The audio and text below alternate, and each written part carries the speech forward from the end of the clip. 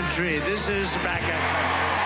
回到造势舞台，喊出熟悉口号。美国前总统川普官司缠身之际，还频繁帮忙共和党人助选。想不到这一喊，真的帮助自己力挺的候选人在怀俄明州初选打败共和党叛徒，也就是公开反川的众议员钱尼。但广大川粉不只能投票，现在还要帮川普复仇。The FBI has noticed an uptick in what's called doxing. That's where people online publicly post the personal information of FBI. And we've even seen threats against the judge in Florida who approved this warrant. You know, his contact information was taken offline. 针对 FBI 探员先前突袭搜查川普在佛州的海湖庄园，不少川粉已经在网络上扬言要对 FBI 人员做出暴力行动，甚至已经有人持枪试图闯入 FBI 大楼，最终和 FBI 人员交火并遭到击毙。If you're an FBI agent, every single door knock you do, every single individual you go to interview, as it relates to the ongoing January 6th investigation, now you have to worry about 但 FBI 史无前例搜查前总统宅邸，惹出庞大争议。加上川普在十一月其中大选之前，身为坚强吸票机的实力不容小觑。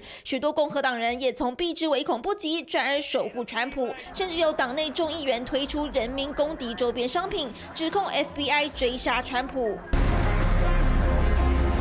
现在，川普持续要求司法部公开搜查时的宣誓证词，还加码指控 FBI 偷窃。Former president claimed agents stole his three passports, calling it, quote, an assault on political opponent 但司法部对川普的要求置之不理，同时持续约谈前任白宫律师。这场川普大战 FBI 的戏码，恐怕将成为朝野两党选战攻防武器，短时间内还难以落幕。三新闻姚海珍报道。